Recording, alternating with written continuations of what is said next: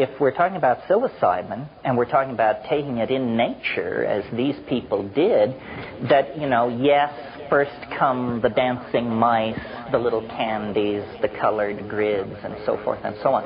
But what eventually happens quickly, like 10 minutes later, is uh, there is an entity in the trance, in the vision. There is a mind there waiting that speaks good English and invites you up into its room.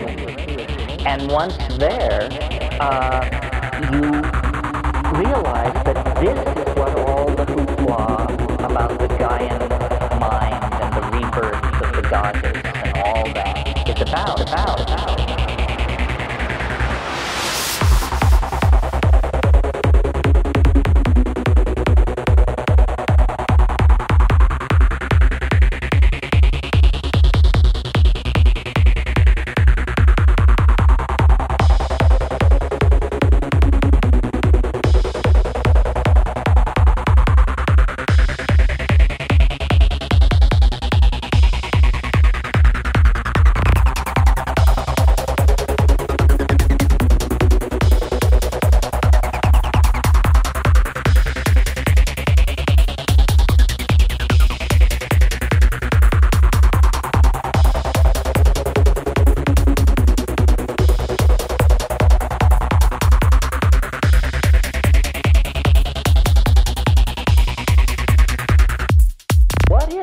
Psychedelic experience anyway?